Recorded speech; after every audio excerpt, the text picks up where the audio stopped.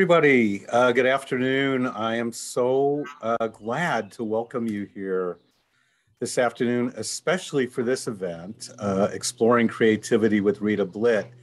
Um, I've known Rita for a number of years, so I'm particularly um, excited for the opportunity to see her art and learn about her creative process. So we are all in for a huge uh, treat uh, this afternoon. This event is part of the Exploring Creativity series of Ashby Village.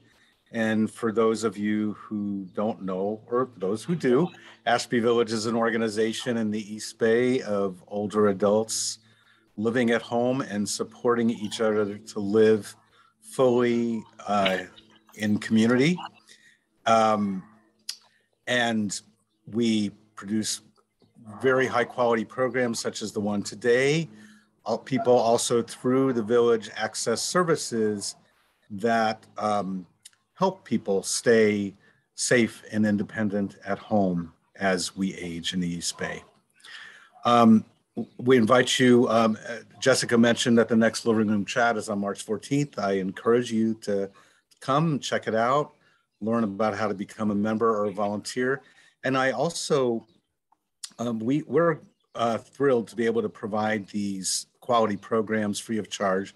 But I also invite you to consider being a supporter of Ashby Village and um, as generously as you can uh, to enable us to keep doing things like this and to keep growing and thriving um, in the East Bay. So uh, there will be a link for that in the chat as well. Um, and without further ado, I'd like to turn it over to Pat Sakai, who is a founding member uh, and leader of Ashby Village, a former board member, and an active member of the Exploring Creativity Committee. And um, here's Pat. Thanks so much, Avi. Welcome everybody to this program today. I just want to say that I feel so honored that Rita Blitt asked me to work with her on this event. It has been a real pleasure getting to know this truly remarkable woman and to become familiar with her incredible body of work. Um, I've come to the conclusion, and I think you will, if you haven't, don't already know Rita, that we have in Rita Blitt a real treasure amidst this community we call Ashby Village. Uh, so how can I describe her in, quickly?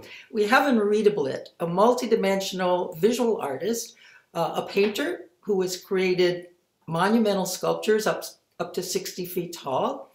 And she's also created, uh, directed films inspired by her work. Rita often integrates the work of other uh, art forms and collaborates from artists from multiple disciplines. Um, her work is exhibited in numerous museums across the US as well as in multiple international locations. Um, Rita's film Caught in Paint was shown in over 130 film festivals, winning many awards. And her most recent film, I think she did this in 2020, uh, The Sun Still Shines, led to the Raleigh Film Festival naming Rita as Visual Artist of the Year. So that's a real honor. Today you're in for a very special treat, and more so because Rita's work and the processes that she uses uh, to create this work are so well documented in films she's made over the years.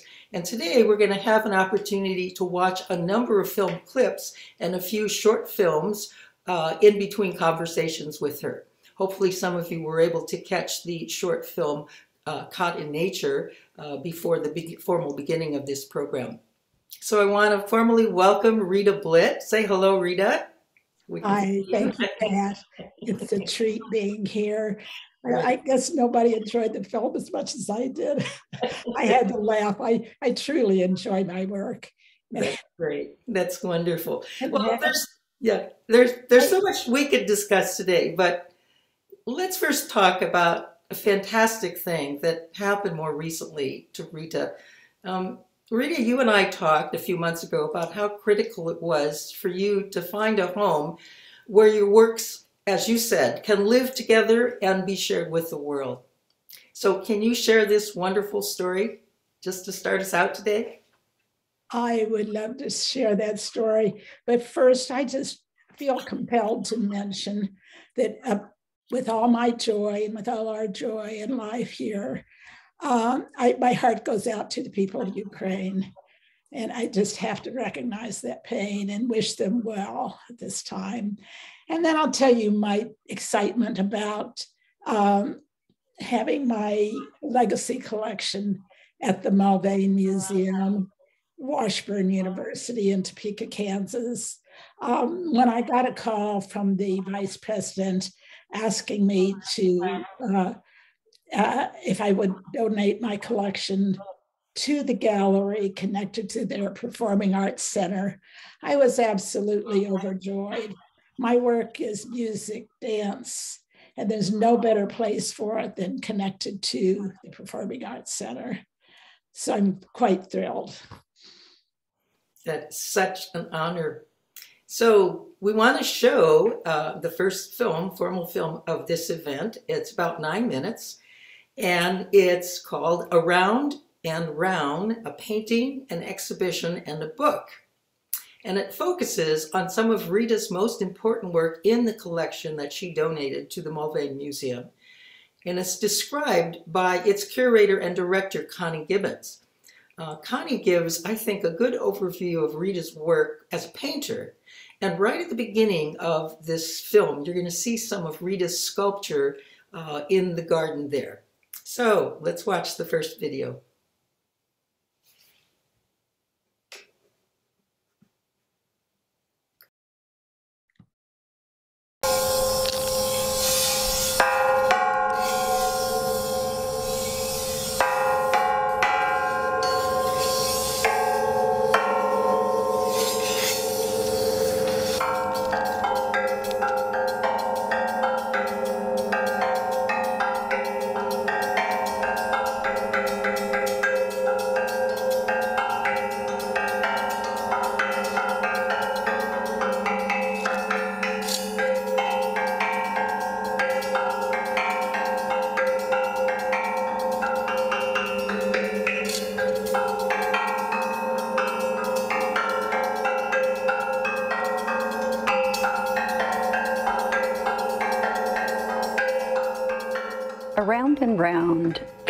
Features a little over 40 artworks that span a 70 year time frame of Rita Blitt's creative output.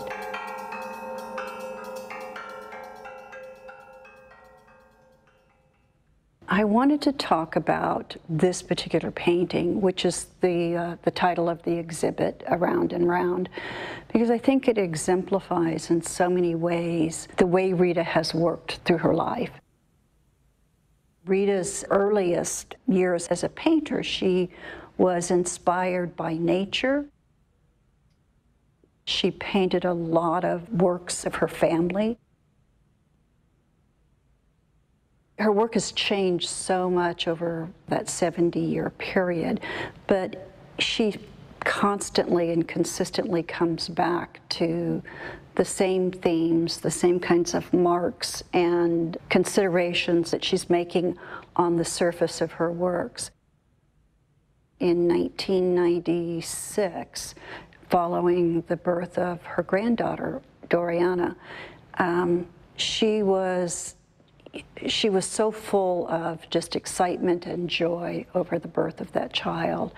And she began doing these huge canvases. Some of them were 12 feet wide, drawing with two hands, using paintbrushes in both her hands and coming up and making these incredible circular forms that you'll see in her work throughout her life.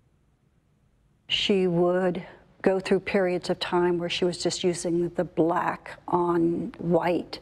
And by the time she gets to the mid 90s, she recognized that she wanted to bring color back into her paintings. You'll see it in Celebrating Doriana and some of the Aspen paintings that she was doing at that time. What Around and Round expresses for me as I look at it is this incredible discipline to put down this blue, see these colors start to run and walk away from it and know that it's complete. And I think you'll see that discipline in so many of the works that she's done throughout her life. I see Around and Round as an iteration of Rita's tendency as an artist to return again and again to the theme of the oval in her work, those circular forms that have a real womb like feeling to them. And again, the use of these really bold lines and the introduction of color in many ways, even though you might not think that looking at this particular painting. I think Rita Blitt is a colorist. She understands color and how color vibrates and changes the tone and the sense and how you might respond to a particular work of art.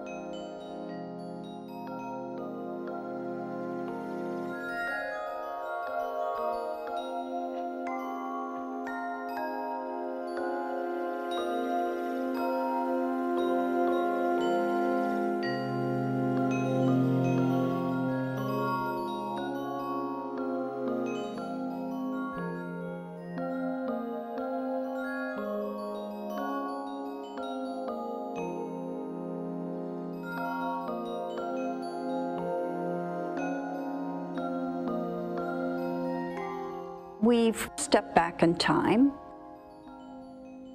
These are some of the earliest works in the exhibition. Red Barn was done in 1958. Exodus was done in 1960. Rita's really painting more like an impressionist. She felt like she had to paint something that was recognizable, even though the surface treatment is really very loose and very expressionistic. You can really see her use of color in here that I think is so splendid with these really bold reds and blues and yellows and how vibrant they are and how well they connect everything across the surface. And the same thing with the Red Barn, how she's used color a little more subtly, but just as effectively. I thought it was important to point out on these works just how, how she uses line to divide the surface of her canvas and what a strong element it is with the line of the fence. That use of her line, I think, really is a precursor to the kind of line that we see in her later years, although the lines that she started using later were much more fluid. I wanted to finish with this work. Dancing with the Universe was done in 2018, very recent. I think it really helps to bring us back to where we started with the around and round and Rita's use of those black bold strokes on white surface. One thing I think is so splendid about Rita's work is just the confidence. When she approaches a blank piece of paper, she can immediately articulate very quickly and without mistakes the dancer moving through space or the music that she's hearing.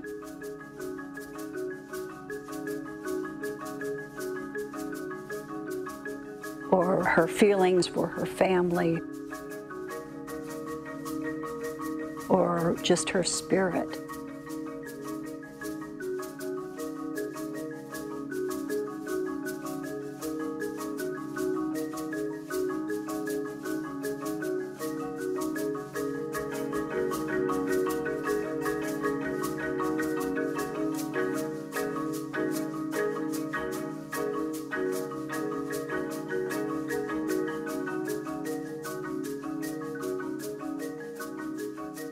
We started with a round and round, but we come back to the same place where we started. And that's Rita Blitt's work. That's what she's done for 70 years. Around and round, she comes back again and again.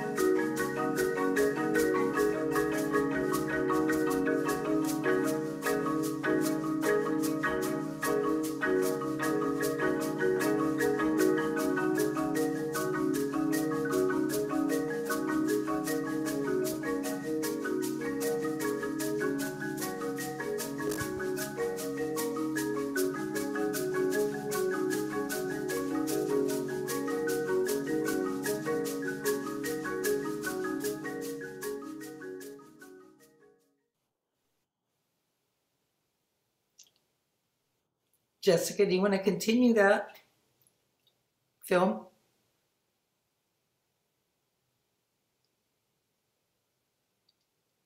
Okay, well, I think I'm going to proceed. Um, we wanted to show the credits for that film, and it was produced by the Mulvane Museum.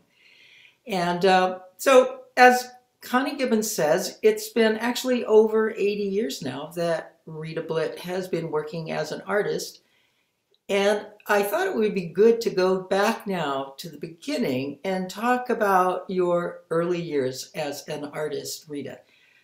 let's start out with a question about what was your what are your most memorable childhood experiences and memories creating art?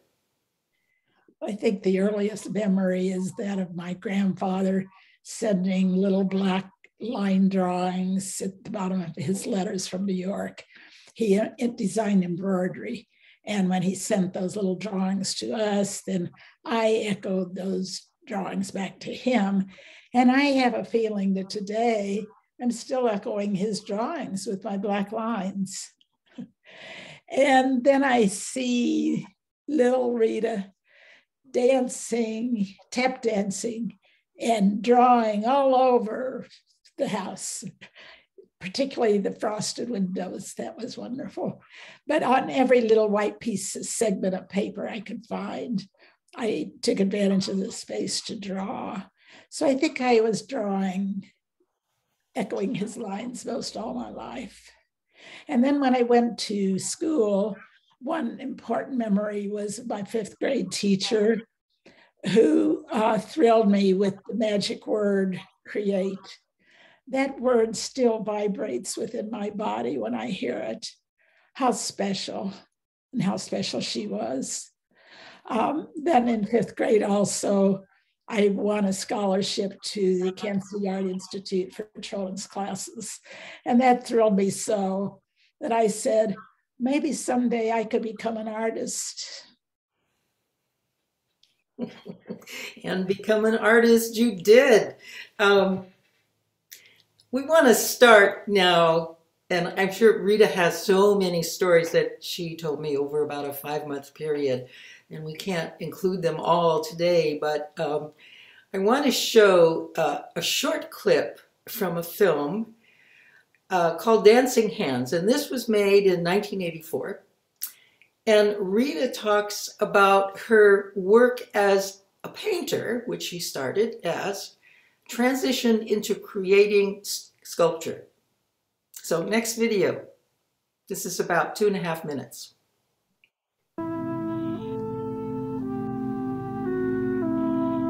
I was painting murals for a shopping center in St. Joseph, Missouri, when the architect asked me to create sculpture around a post in the mall. First, I said, No, I'm not a sculptor. I was very excited about my painting, and I knew that I was growing as a painter. And I was really afraid to take time away from that. And then I realized that I was really just dying to get involved in sculpture. I started experimenting with every material conceivable that I could manipulate with my own hands.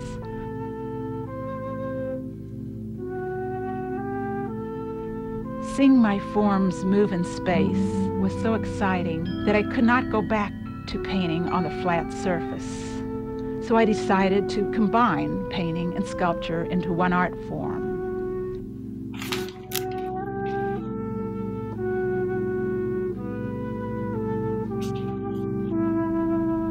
While I worked on my canvases in space, I kept thinking of dancers moving in space, relating to each other.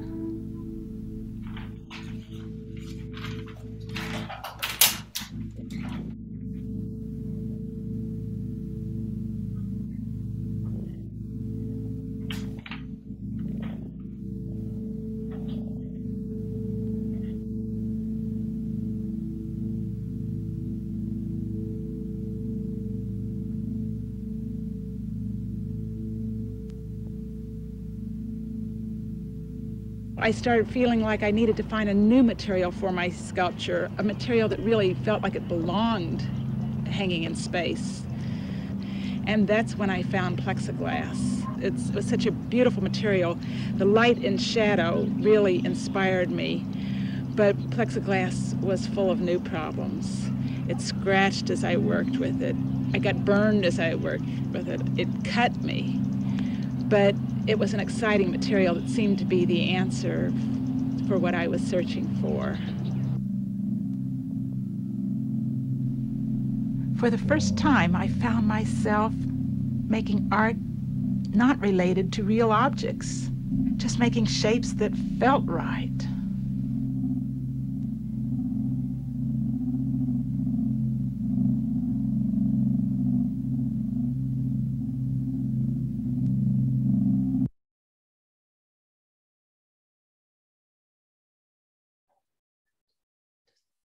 Tell, say, Pat, you're muted.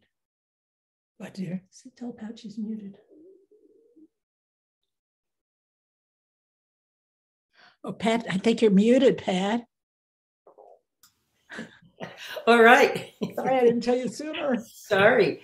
Um, can you, following up on that, let's talk about uh, the story about your exciting 1969 New York plexiglass exhibition. Can you share that? Um, had a New, a New, York show scheduled for the plexiglass exhibition, and um, the right before the exhibit, uh, we were out to dinner, and this man said, "Why don't you go on the Tonight Show and tell about your exhibit?" and I went to bed that night and woke up in the morning and thinking about my wonderful husband, how he was working so hard uh, packing my plexiglass sculpture and and the wonderful things that were happening to me. And I started writing a book. Once I started writing, crazy, horrible, painful things started happening, which gave me lots of material for a book. And uh, a little hard to suffer through, however. But um, I spent a year after the exhibit writing that book. Uh, life's not always chocolate, kind of chocolate in honor of my husband. um, but something very wonderful did happen that I want to mention at the uh, opening of the exhibit. Um, an art critic came up to me and said, What are your thoughts about God? And I said, God, I wanted to talk about my art. anyway, uh, I asked his wife, why did he ask me that question? And she said, he must have seen something in your work. Well, that question was the very beginning of my spiritual search, which was enhanced two years later by a miraculous event related to a found object sculpture. Uh, but through the years, I read and I wondered. And uh, at the same time, I don't think I related it, but periodically I'd stop and say, Where did this art come from? How did I do this? Uh, but now, today, I recognize that uh, as far as I could go in that search, which wasn't satisfied until the 90s, uh, I realized the connection to my art and to the spirit. And I'm grateful to that critic. He'll never know. That's a wonderful story. Um, you want to say anything more uh, about that exhibit? Um, the only thing I was going to say at one moment was to describe the thrill I had when I opened the door to the New York show and saw that my uh, suspended images were reflecting light and moving in response to our bodies.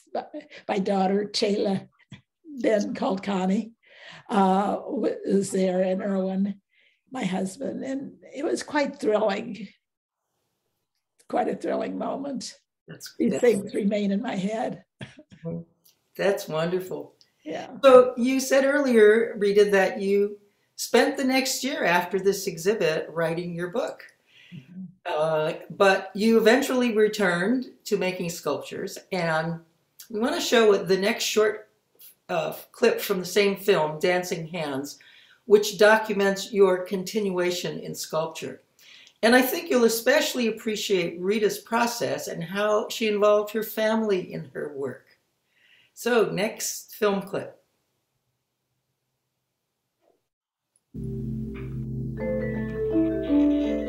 My first aquablit sculpture.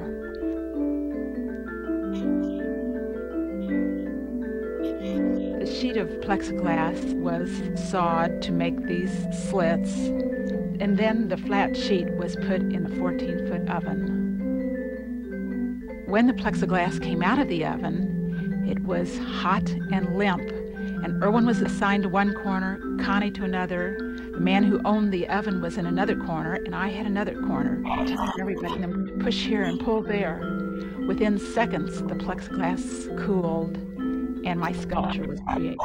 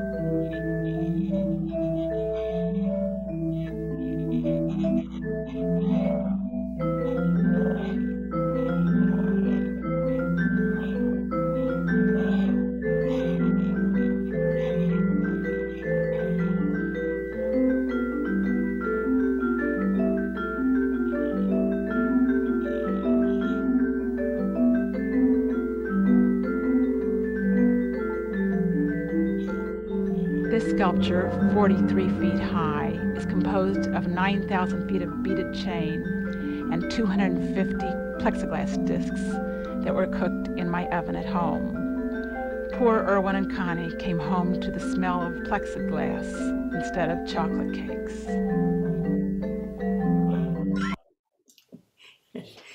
I love that.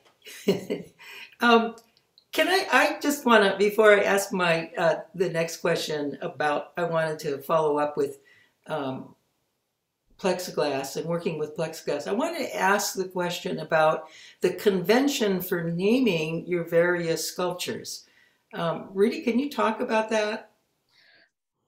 Um, well, I do remember uh, getting ready for this New York show, and uh, Connie and Erwin and I were in the car coming home from a concert, and uh, Erwin asked, "What are you going to name your your show?" And he said, "Sculpture show, of course." and he says, "No, it has to stand out amongst the hundreds." Anyway, so we tossed around ideas, the, the three of us, and came up with Orblitz for my show and then I called uh, one of my most important sculptures, Orblit, one, two, three, and so forth. And then there was the series intended to be by the water called Aquablitz. Oh, and Aquablitz. Well, you know, naming is always last thing for me, but um, this was fun. I called uh, my sculptures inspired by water Aquablitz. The uh, humorous ones, Lunar Blit, uh, the standing still sculptures, Stablit. right. I think that was about it. Yeah. I Great. took a bit of that idea from uh, Alexander Calder, who I forgot what he named his stable stabiles. Like, mm-hmm. Mm-hmm. Great. So, uh, so you work with plexiglass a lot. So, can you expand on why you like working with plexiglass for sculpture? Well, one thing I loved about it so much was when I pushed the sheet of material and and and pushing it to the shape I wanted, and then I let my hands go and watched it take its own spot it dried into a very natural form. And I just love that. Of course, I love the light and shadow reflection. But I want to tell you about one sculpture, the Orblitz sculpture, that um, I started with a two foot disc, round disc, and I heated it and pushed it in the center, uh, trying to make my shape I wanted. And I pushed so hard that my hand came through and it tore. And I don't know if I was upset for a second, but when I saw the beautiful tear, torn edge, I was very happy. And I took advantage of that accident to make perhaps at that time, and I still feel maybe it's my most important sculpture. And the reason why I feel it's so important not, um, is I concluded in looking at it that was uh, felt like the contrast of pain and joy. At some time, at one time, I started calling it uh, joy slash pain, and then I went back to the word orblet because I like for people to see whatever they want in my work. That's great. That's wonderful. So there's one last clip from this film, Dancing Hands, uh, which shows more about your uh, transitions in your work related to drawing and your monumental sculptures, which are installed in many countries around the world at this point. Um, so let's look at uh, this is a seven minute clip from the film Dancing Hands. I remember through the years of working on sculpture, and I would be struggling with the physical efforts of, of uh, working with materials and involvement and, and uh, pain sometimes. And, and I'd stop and remember the sheer joy of painting. And, you know, I'd say, you know, what kind of nut am I to give up that joy of painting? But I never doubted that I was doing the right thing. It was just funny to, to realize the contrast between spontaneously and joyously putting paint down on canvas and struggling with the physical demands of being a sculptor.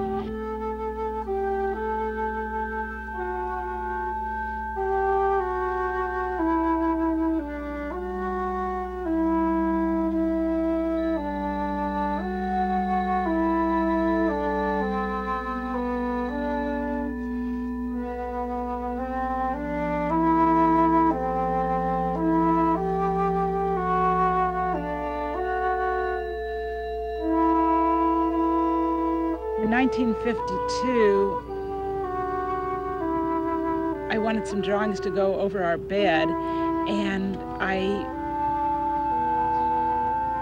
put my doodles on good drawing paper.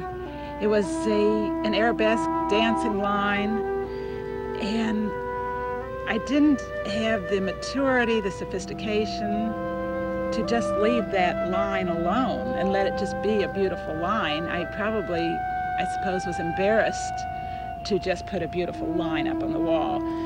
So, in order to justify the existence of that, that line, I added a face and, and hands and shoes and even sequins to match the bedspread in the room. 23 years later, I made this sculpture from a spontaneous drawing. It was then I realized my doodles were the essence of me. So I started buying stacks of drawing pads and pouring out drawings, page after page after page.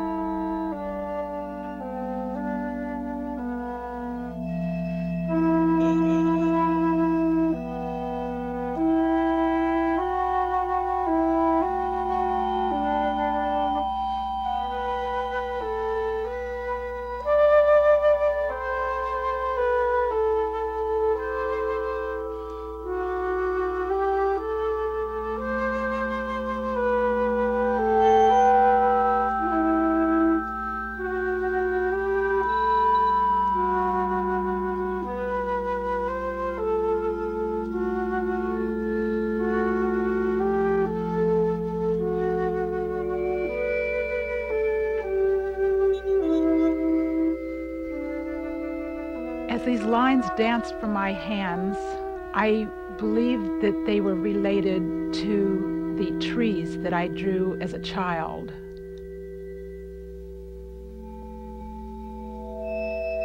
I always drew trees, and I always felt each branch as it grew up from the roots.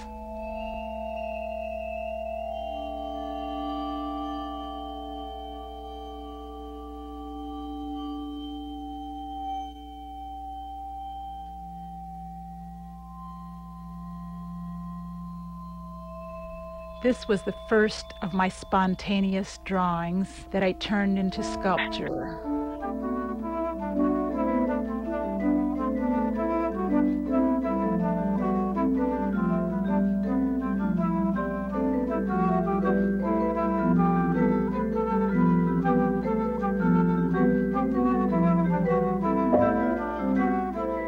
From this time, everything that I would create would come from the spontaneous drawing.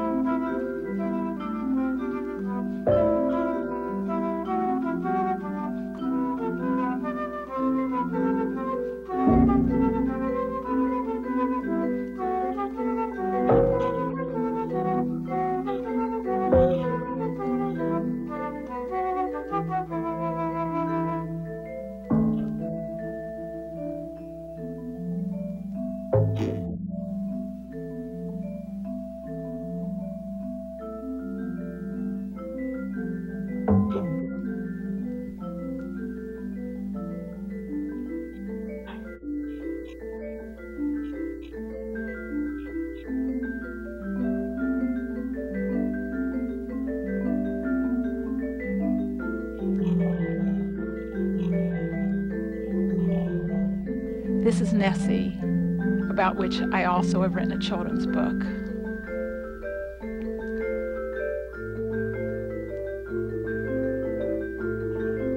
I call this dancing.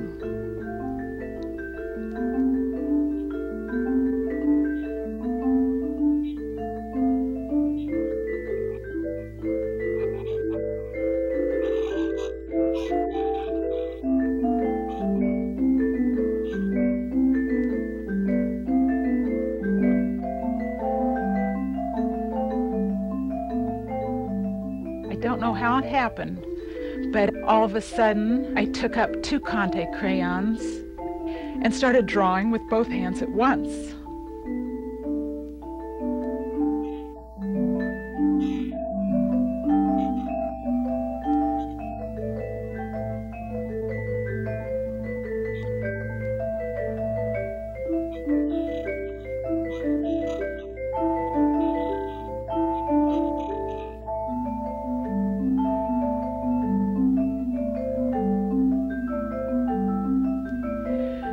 Figure out why on earth I was drawing with both hands at once.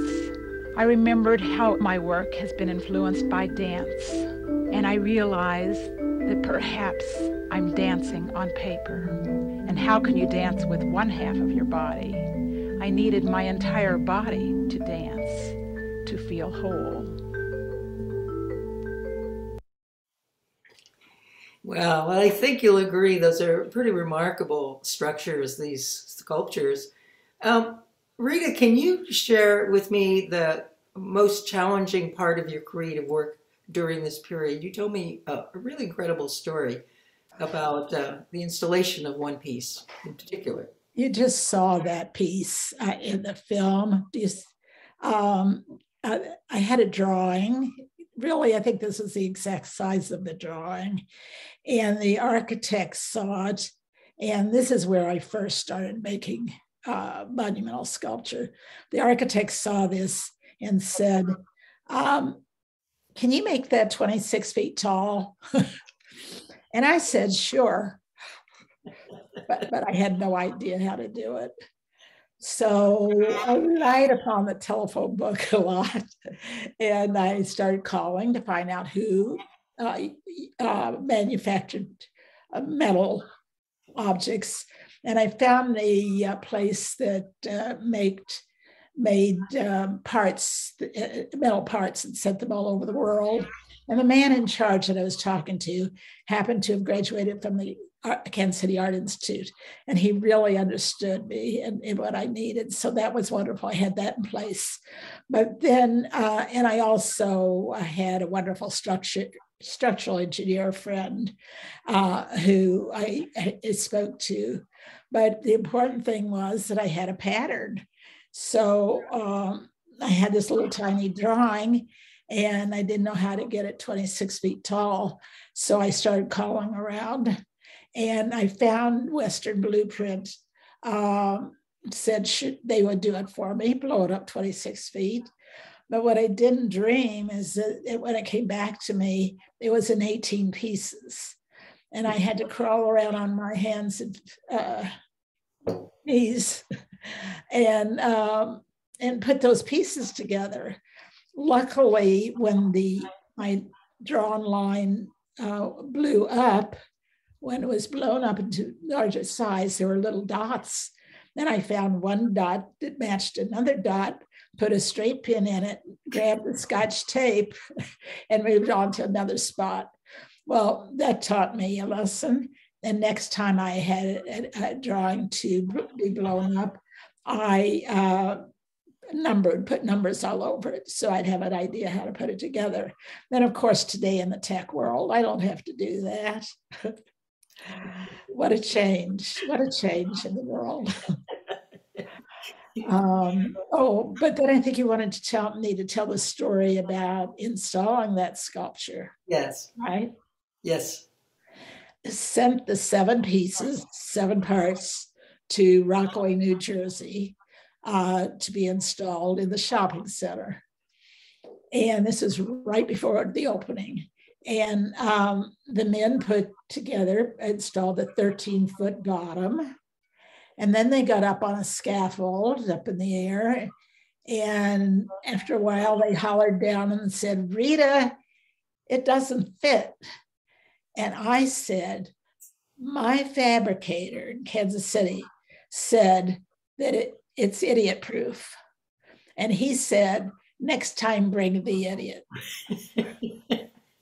So indeed, I, I, guess it was this part that was missing, and it was um, this part, and it was FedEx to Rockaway in time for the put everything together for the opening. What a crazy story! It's more than just creation of the actual piece. It's right. Sure, the installation is as you as it is intended to be. Wow. So I, I want to switch gears and uh, kind of you've alluded to this several times about where does your artistic inspiration come from? probably a complicated story, but yeah. I had just referred to that thought from the man at the opening who inspired my spiritual search. Right. But also, then I think what you're talking about too, which I I, I must mention, is that uh, I had such a loving, supportive husband and I really think that he inspired my work, number one. And, uh, uh, but then uh, we went to Aspen, Colorado in the summer, and I was very inspired there. And I did some of my most important works there. I painted, I made films. Uh, most importantly, I sat in the concerts and drew to every beat of the music uh, either in the back row where I wouldn't disturb anybody or I went to rehearsals. Something else, Pat, that I, I don't know that I mentioned to you that was so important that happened in Aspen. One of the most important things that probably happened in my whole career is that someone stopped me and asked me to create something we can send all over the world to make the world a better place. And that's kind of overwhelming. And the thought of being able to do such a thing was overwhelming. And it, it was an honor that, that she felt I was capable. And then later I thought, well, is this a joke? but it took me five years. And I came up with the words kindness is contagious, catch it. And this was in the early 80s. And at that time, to, to start talking publicly about the word kindness took a lot of guts. I was really kind of afraid people would laugh at me and think of me as a Pollyanna. Um, but I was, I believed in it, and I, I, I repeated those words. There, there, came a committee of women that uh, formed a kindness uh, organization, which is a big organization today. We sent, I sent, uh, I made a, a poster uh, and I sent it to every country where I knew people. I, I put 11 in a tube, and uh, I didn't think about they couldn't read English. anyway, I sent it all over the world, and I think ultimately um, millions of people were affected by my words. And I feel very grateful and very proud and happy that I had that opportunity. I don't know that I really made the world a better place. It needs a little help yet. Rita, let me ask you if you would uh, talk a little bit about. Uh, you heard some music in Aspen, uh, and in particular, you heard some music by five Jewish composers. Would you relate that story? Well, uh, this composer, I mean, this conductor, uh, a famous opera conductor, uh, was uh, he's also a, a uh, one who want, wants to preserve the music of Holocaust composers. He did a concert in uh, Sunday in Aspen, um, most important concert of the week, uh, uh, playing the music of all five composers. And I sat there and drew to every one of them, their every line, every beat that I possibly could. And uh, then a couple years later, my assistant in Kansas City said, you really owe it to those composers to get their work out in the world. And so I chose one, Pavel Haas, and I uh, combined his music with my drawings from his piece and uh, worked with uh, the editor and, and um, made the film collaborating with the past it, in, in memory of those artists who life were not only lost their life, but all their creativity from the Holocaust. That's a remarkable story, and you can see collaborating with the past on Rita's website, and we'll put that website address up later in the chat. Um, Rita, can I ask you about? So I, I know that uh, you're being in Aspen uh, many, many summers, maybe every summer, inspired so much of your work. Uh, you also uh, told me about a particular time uh, on a ship in Iceland that inspired something. Can you yes. talk about that, please? Um, we were selling, sailing into Norway on a cruise, and it stopped for the day in Iceland. And going into Iceland, there were 17 foot waves, and everybody on the ship was sick. My husband was on the bed, and I'd given him his Pepto Bismol on the bed. And I had a little dresser and a ream of typing paper. And I stood there and held on to the dresser. And with the typing paper, I collaborated with the movement of the ship. And I ended up with a couple hundred drawings that I was absolutely thrilled with. And I knew four people uh, on the ship, and we had an exhibit on the bed that night. But most importantly, I have used those drawings to refer to ever since that 92 cruise um, to make, I refer to the drawings to make sculpture. And uh, they've been very valuable to me. So yeah, how many people do you know, artists do you know, who would be creating art in the midst of a storm when everybody else is getting sick?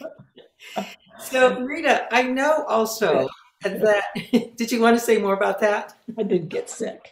That's good.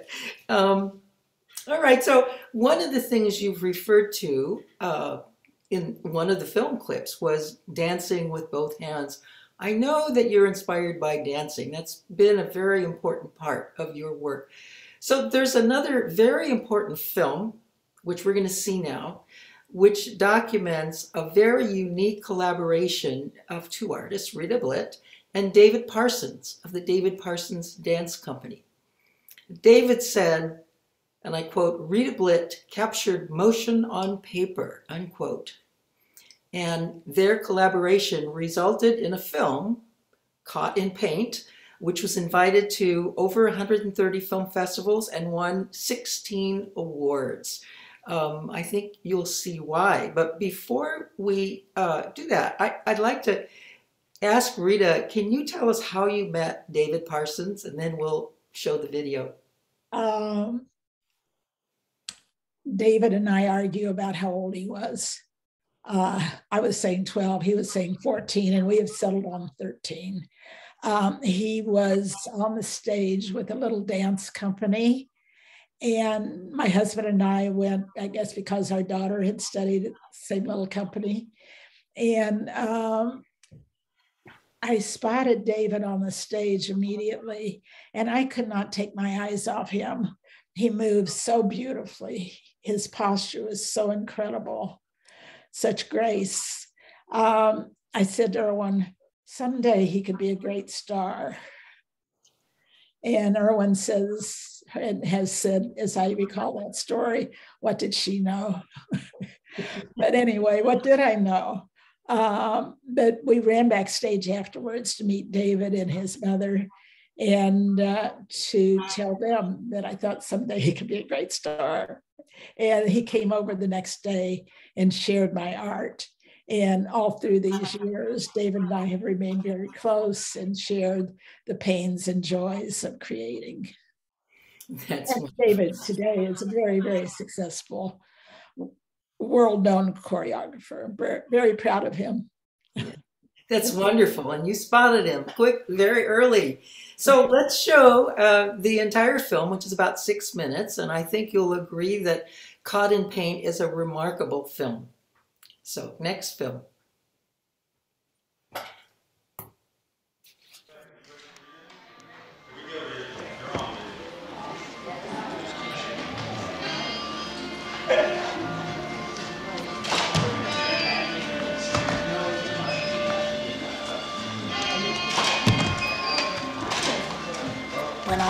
Am drawing and painting the music, I am dancing. And I'm having a wonderful time dancing.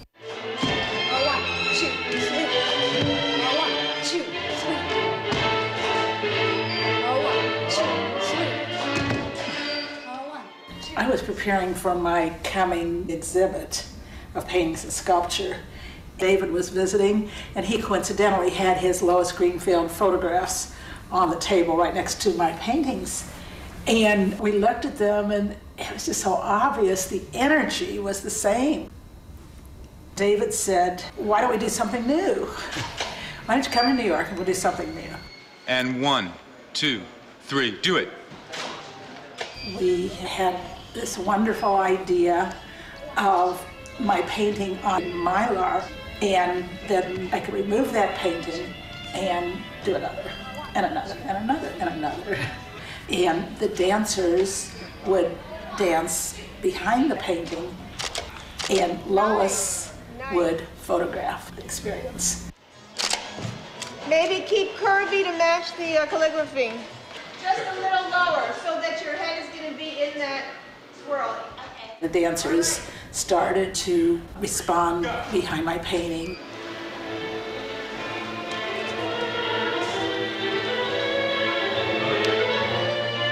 David and Lois started telling them what to do, and I think everybody was feeling their way because they hadn't arrived where they ultimately were, that all the shots would be only when the dancers had their legs totally up in the air, off the ground, and within my painting. Three, do it.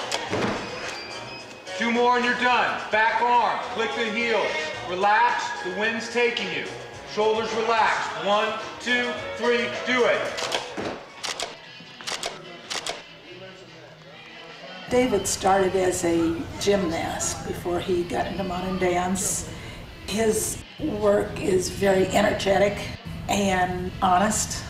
There is this incredible vitality and flowing line. I identify with his work very much. Do it. Stay away. Stay live. alive. That's nice. I feel very close to David and to the company.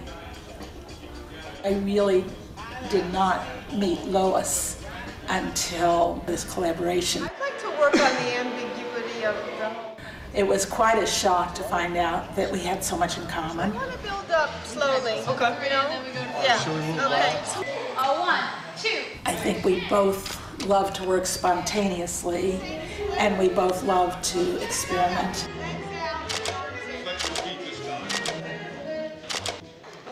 I put myself in front of the surface on which I'm going to paint.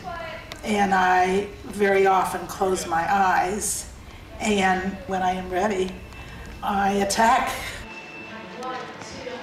Go ahead, Rita.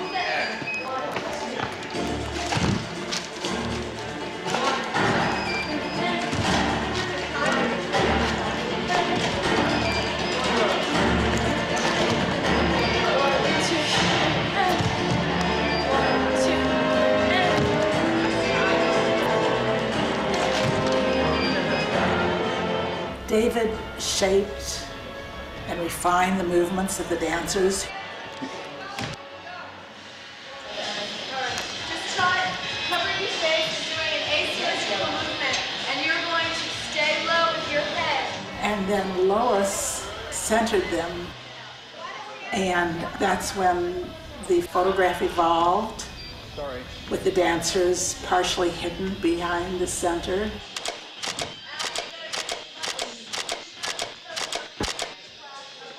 One, two, three, paint. Oh, stay together, guys. Here, I'll do One, some- two, three, up. That's it, thank you. Oh, here it is. You have something open. I've been clicking. Oh, woo! This is great. Oh, Mozart. Oh my God, brava, brava. That's So religious. Rita, come on in here. this is great. It's very religious. Look at that. Sorry, I won't And the lights another- fabulous. Oh, Cool. yes, and I When did came up with a time to good get idea. coffee? How do you get coffee? Look at this. Look how the hair and the, uh, and I love the way they're burning out. How do I go back to that?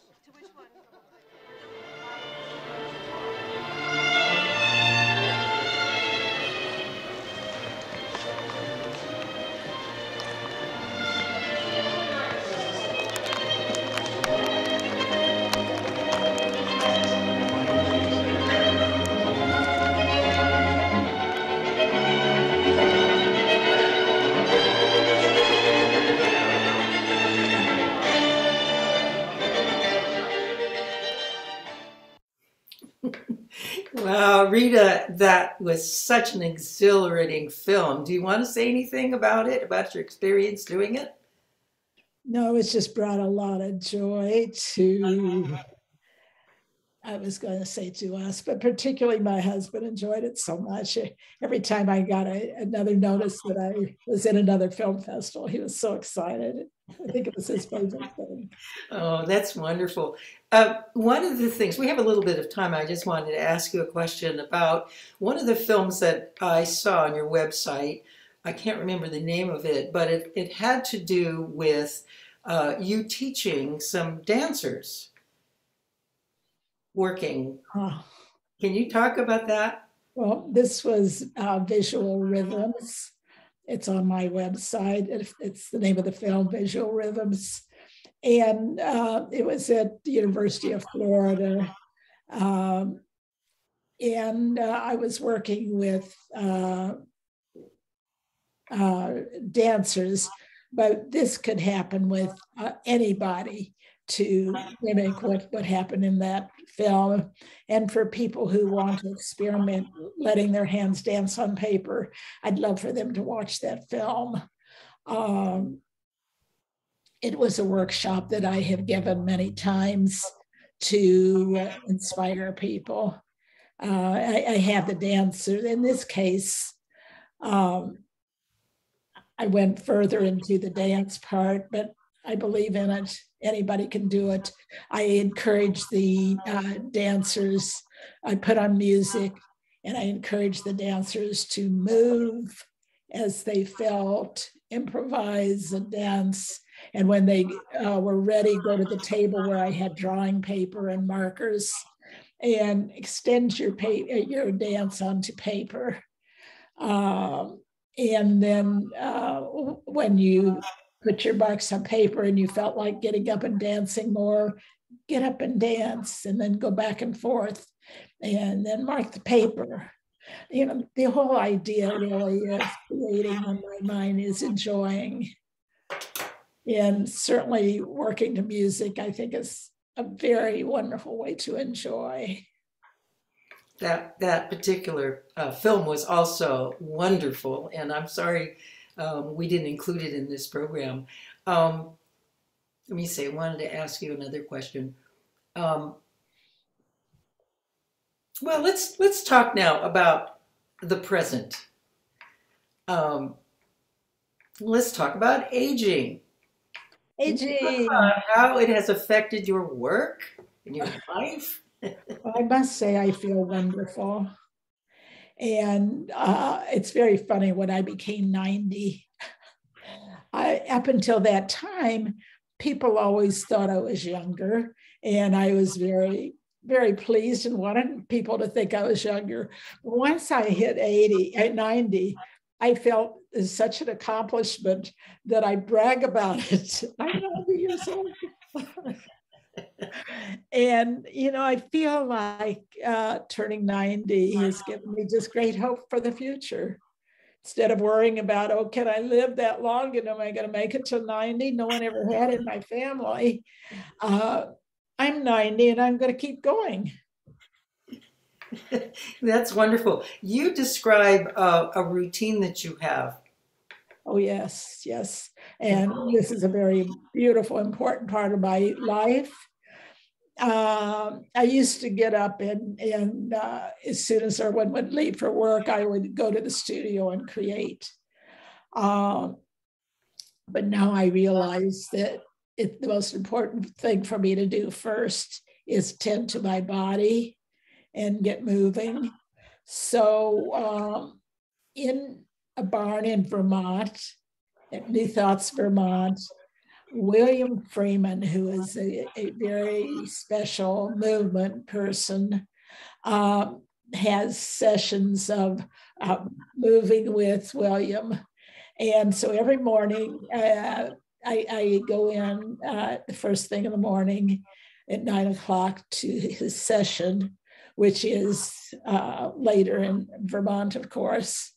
Um, and and uh, William turns on music, and he and his partner, who is a pastor, and and his cousin, who's a wonderful woman in Oregon, and whoever else shows up at the time, uh, we move. Uh, we move to the music, and William uh, gives us guidance to include every part of our body. And uh, uh, I almost feel like I am creating my art because this is the way I danced on paper, and this is the way I'm dancing every morning. But a lot of a lot of the time, we're massaging our body. He's he's has instructed us and shared with us how to go from one part of the body to another, and it's quite beautiful and quite wonderful, and feels very good.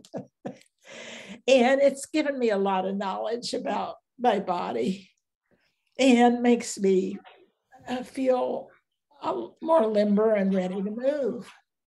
So I'm grateful for this opportunity. That's great. I think we, I was going to ask you the question about, you know, when you turned 90, um, I guess it was last year, you said your outlook on life changed. Can you share a little bit more about that? I did. I think it did. I yeah. was worried about dying, and now I'm worried about living you told me you realize you have so much you want to do still. and I'm just amazed by what you talk about, what you're doing. So let's talk about what you were thinking about or doing creatively these days. Well, this morning I uh, did a painting five feet wide and 30 inches high.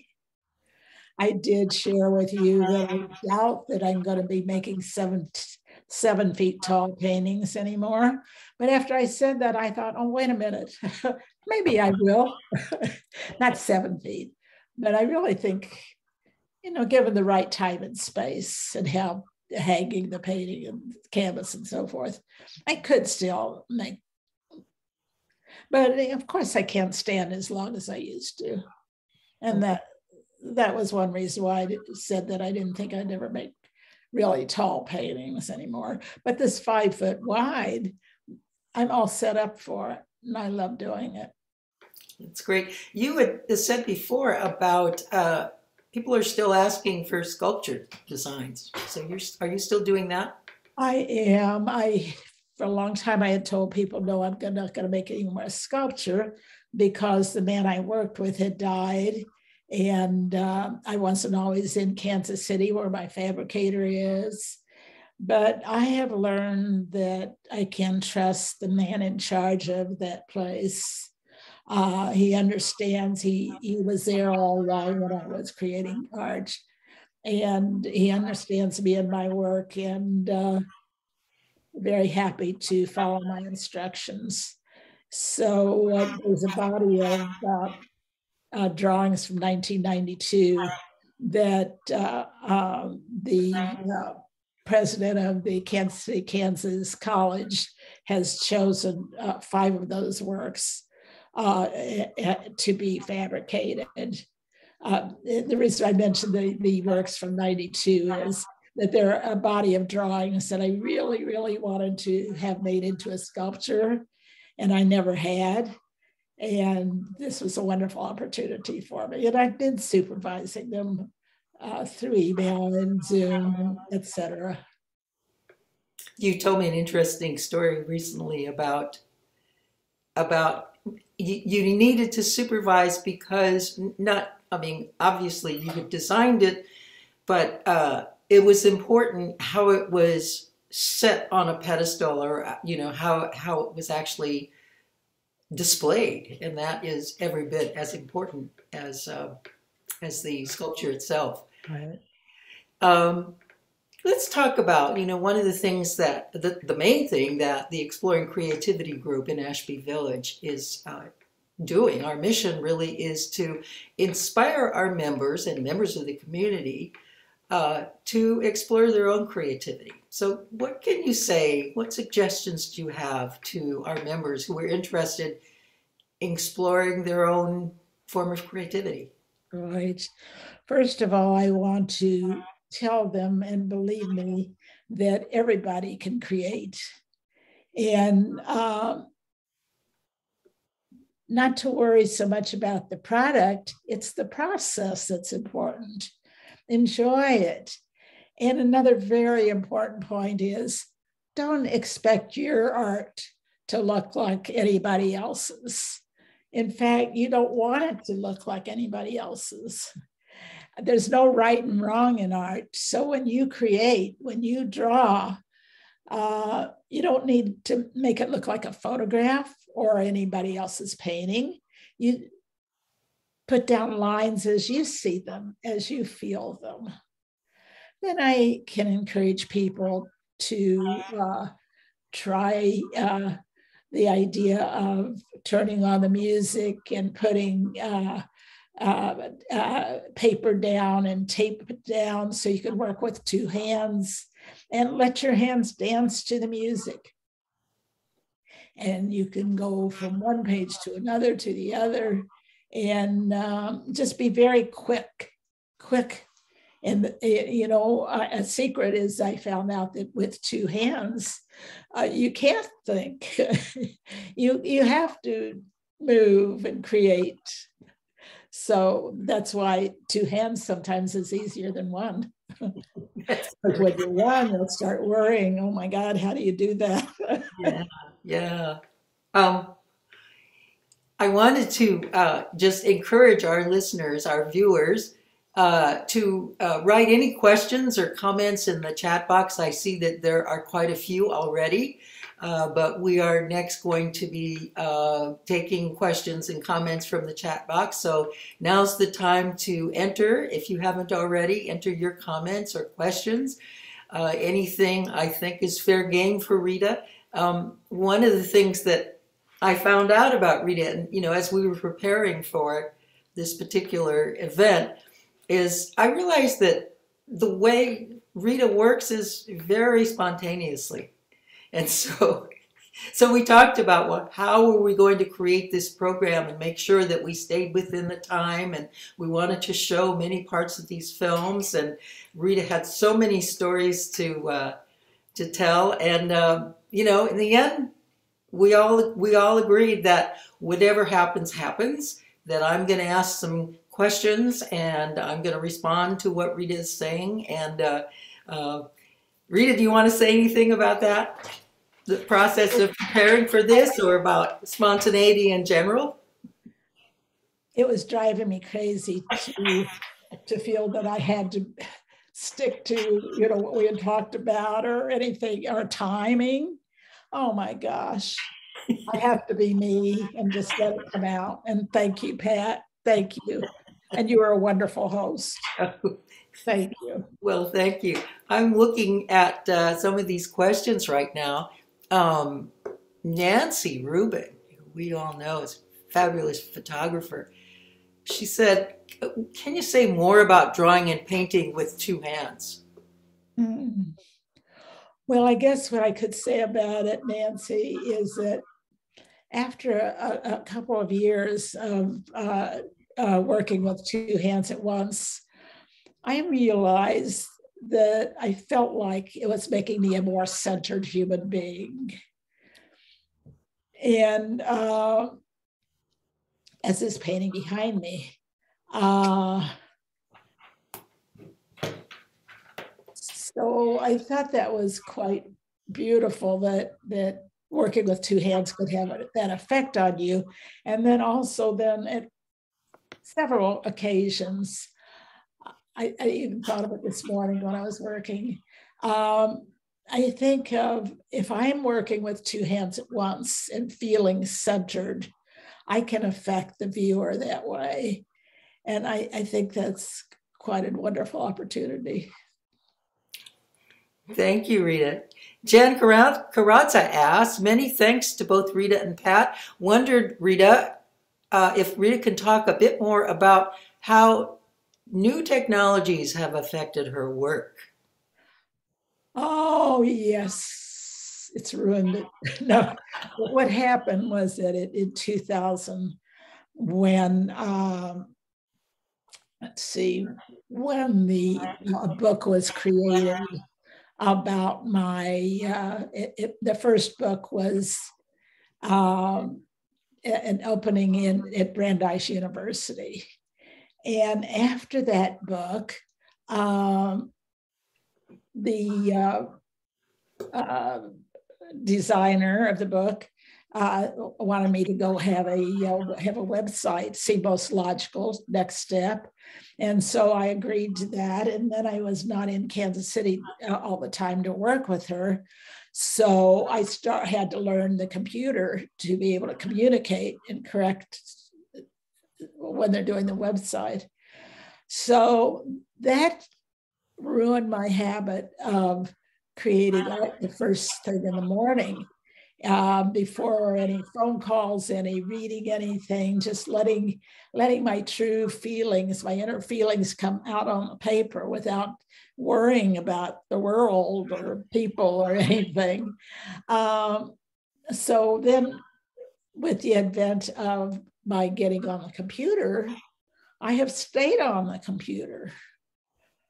I answer emails, I work on projects, and I spend half my life on the computer. I, I don't think it's been good for my posture. I don't think it's been good for my creativity. But on the other hand, that computer is wonderful and miraculous, and the things that it's enabled me to do and the communication about the films and everything else I do and have done. So it's it's that's the effect. mm, thank you. I just want to read some comments. Uh, Warren Lehrer says, beautiful. Um, Thank you, Warren. Let's see. Uh, Shana says, Rita, such gorgeous, thrilling, joyful, and hopeful work. Carolyn Steinberg says, Bravo, Rita. Uh, Jan asks, uh, Rita, are there any places in the Bay Area where we can see your art and especially the sculptures now or upcoming. I may have missed it. again. Um, Thanks. Yeah. so there is one sculpture in uh, San Francisco at the Senior Living uh, Jewish Center. I don't really know their address, but it's a very beautiful new building. And um, they have my inspiration sculpture out in front, a bronze inspiration. And then I have another one in um, Napa, Healdsburg, I think. but otherwise, I haven't done that much in uh, California area. This area. Yeah. that's about it. There have been uh, private people have my sculpture. Somebody says, oh, Steve Polsky says, Hi, Rita. It's great to see you and share in this wonderful program today. I'm sitting here in my home in El Cerrito looking at the beautiful painting you gave me for my bar mitzvah in 1974. You asked if I wanted money or one of your paintings. I'm so glad I chose the painting, which I still enjoy and admire to this day. Thank you again for this special gift, Steve Polsky. That thrilling. I saw his name come up in the chat in the beginning of the chat. And I don't know if we have time, if I should tell this story, but it flashed through my mind that uh, way back, way back, 70s, I don't know, 50s maybe, I don't know. Um, no, he wasn't, he's not that old. Uh, anyway, I, in his kitchen, his mother had me make a mural um, eh, to the poem uh, Trees.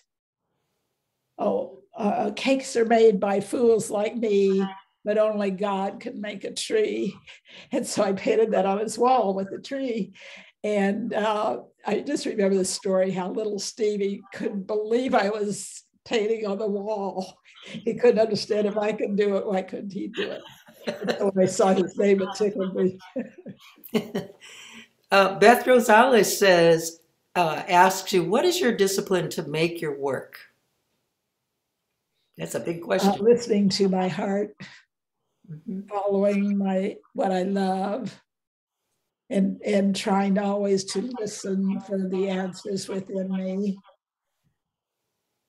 Great. trying to be true to myself, what I honestly really feel. hmm Not easy. Yeah. Sally Curry says, Curie says, Rita, love this presentation. I am a poet about to turn 90 and am still wondering where my stuff comes from. I love it. I love it. um, let's see. Liz says, Rita, this has been so lovely to learn about your life's work. I really appreciate seeing a bit of the history of your passion in movement and art. And of course, I love hearing about your commitment to your morning movement practice. Uh, wow, there's so much. We've got clapping hands. Um, Sally says, Do you have any input on where inspiration does come from? Ah, sure. The unknowable, the magic around us that we can't understand, that we have to accept and appreciate and love. I, you know, it's finally after years and years and years of searching and yearning to find the answers, I made peace with the fact that I really, I, I could never really know. So just accept the existence of this power around me and say thank you. It's beautiful. Uh, let's see. George Kanakis says, Dear Mrs. Blitt, I've enjoyed being able to watch today's event. It's been a true pleasure to see you again. I always admired your artwork and was always honored to have the opportunity to frame them. Wishing you the best always, George Kanakis. Thank you, George. He's given me a problem in life. I could never get him to call me Rita. Oh, you're Mrs. Blitt. Mrs. Blitt. And I so I told him last I talked to him, I'm finally old enough to be called Mrs. Blitt. It's okay. And here's a message. Hi, Rita. Dr. Greg Mosier here, and love to hear you mention the one of a kind sculptures we will be graced with in the coming months. Our student and employees love your paintings and can't wait to see the sculptures. Thanks for doing the session today and keep up the beautiful work. Um, wow. Ann Hyde. Ann Hyde says, Rita, thrilled to see you, your films and work, and feel the tremendous energy and hope, all caps, you give me and everyone. You shine your light on creativity, goodness, and love. Thank you. I want to learn about Ashby Village. Mom died at age 100, and now I feel freer and ready for a new era. Oh, Stacy Russo says, This has been so beautiful and inspiring. Thank you, Rita. Matt says, Love Yes. you, Rita. Yes.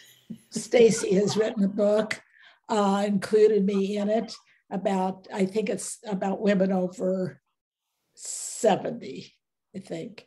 And so I'm very anxious for that book to be published any day now, soon. Wow. I written, it's at the publishers. Matt says, You probably know who Matt is. Love you, Rita. Always so inspiring. Donna Terazawa says, Rita, the energy and the undaunted spirit. Some of your art reminds me of sumi-e, Asian calligraphy. Uh, Beth Rosales says, absolutely gorgeous, and thank you for your generosity of giving your work for free to nonprofits in the Bay Area. Um, Miles says, bravo, you are an inspiration. Uh, Jan Riker said, there are so many comments here. So touched and thrilled with this time with you. The sculpture is at the San Francisco campus for Jewish living. The campus and residents are so thrilled with all your work you have shared. So there we have that. That's San Francisco campus for Jewish living. Peter Sussman. Honor of her, of Jan Riker. Yeah. Uh, Peter Sussman says, Rita, your talk reminded me of an article published decades ago, and I wonder if you read it. The artist tried to catch the rhythms of nature by affixing markers to tree branches and holding paper next to them as they moved in the wind. It had a big impact me and on me and reminded me of how you try to capture movement. How beautiful. Yeah. um, let's see. Um, William Freeman. Let's see. And Peter Miller. The- movement buddies. Oh, yes. Okay. When I see you move, Rita, I see you painting not just with two hands, but with your whole self. True. Anastasia says, Dear Rita, your work and your family have had such a significant influence on my life. Mm. Uh, Jan says, In your transition to, um, I think it's computers, are you actually drawing on the screens and transferring it to paper or 3D, or is that still whole body work? No, no, it's it's not for me. Uh, I, I am movement. I can't be confined to a little tiny screen, but I do recommend the screen if for people to research and find out how to do it, primarily because uh, it, it's so available and you don't have to keep spending money on on uh, paper and buying more paper. And I want people to be feel feel free to draw one after another. It just wasn't for me. I guess I still won't do it. Oh, here's something interesting. Uh, Jan Karatza says, My daughter was a dancer and a photographer, worked for Lois Green as an intern in the early 2000s. What a wonderful, uh, um, can't, the early 20s, uh, 2000s. My ballerina and photographer daughter was an intern. What an inspiring group to work with. Right. Yeah. Um, let's see. Joyce Miller says, Thank you for being you, my creative mentor, now that I have turned 80. All right. Um, Warren says, Rita, your spirit, humor, fluidity, sense of wonder, joy for life, and people is apparent in your body of work. You are an inspiration. my goodness. Um. There, yeah. Um, any other? Let's see. I, I I think we're running out of time now, but I there is there there is another one other question that I wanted to ask you. Let's see. I, I'm sure I saw the name Stacy Ramos. Yes. And if I did, I just have to say her father, Chris, is was the architect who got me going and said, Can you make a drawing, an eight, a 26 foot sculpture out of that little drawing? And Oh. Stacy and all your sisters. Oh my were goodness. all- and That's Your father was incredible. Okay, let me see. I'm looking for, there was one that I passed up because it's a perfect introduction to our last film. Um, let's see.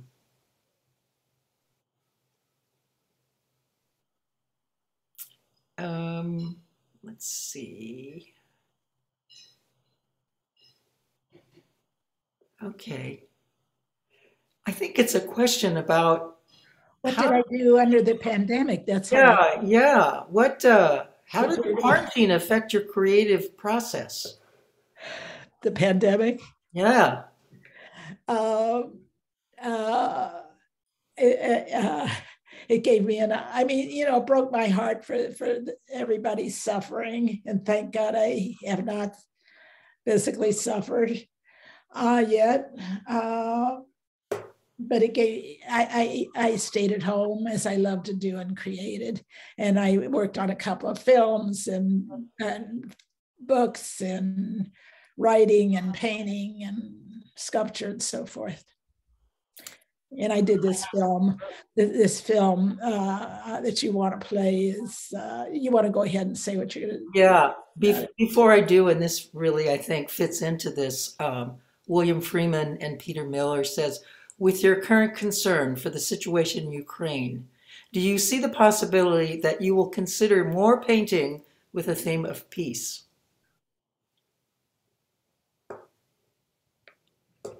Rita? I'm thinking about that because this morning when I painted and I looked at my wild lines full of, I don't know what, energy. And then in contrast, I had a painting from 1976 standing there that was so peaceful, so quiet, so exact, so wonderful. Maybe one of the best things I've done. Uh, and and so you know, can I can I replicate even the piece in this one?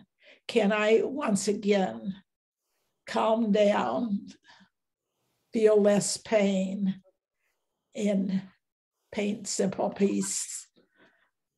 I- that's that's a lovely goal. I've wondered if I should paint, uh, continue painting with some works that I did last year, full of joy. Do I have a right to express such joy today? Or do I have an obligation to expect, express joy wow. and do it? Yeah. Um, Jay Kransberg says, Rita, this has been so awe inspiring. Please give my love to Chela and Doriana too. So grateful for Donna. Let's see, this keeps, these are coming fast and furiously. Uh, for uh, bringing up, for Donna bringing up calligraphy. That's what I always felt with your work, and so grateful to see the whole body of your work at one time. Uh, and then, oops, Hannah K. There's nothing there. Okay. Um, Jan says it would be great if there could be follow up in the next um, newsletter pointing folks to both the interview, the film on YouTube, and Northern California resources to see your several sculptures in the area. So that's something we've got to think about. So I think the time has come. I wanted to end with um, Actually, we're going to show the film and then we have some closing remarks. Since we have just a bit of time, Rita wanted to show her latest film called The Sun Still Shines, uh, which she created to give hope and lift spirits in the midst of a pandemic and wildflowers, wildfires, as well as other very troublesome nas- national and I dare say now international events. This particular film led to Rita being named Visual Artist of the Year by the Raleigh Film Festival. So can we show now the next video?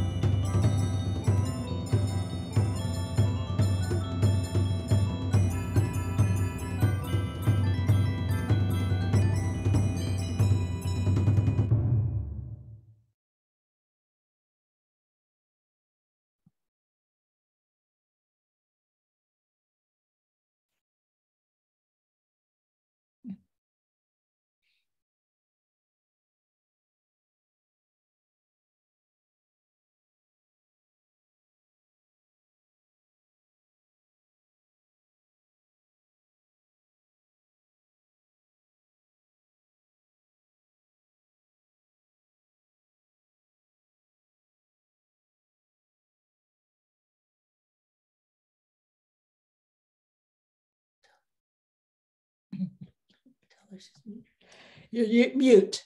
You're muted. Wonderful. Thank you. Um, I, I just, a few more messages have come up in the chat box. Uh, Arlene Reef says, can you share the links to all of Rita's films so that we can see them again and again and share with others?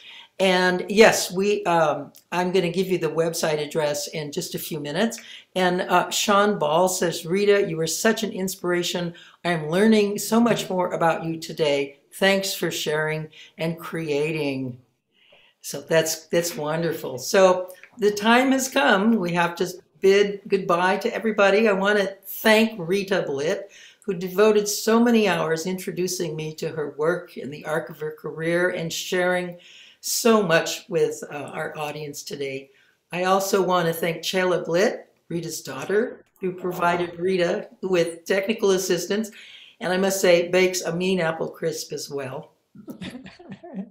Thanks to you, our audience, and we hope Rita has inspired all of you to explore your own creativity in whatever form it may take. I want to thank also Avi Rose, our fabulous interim executive director, for his support today.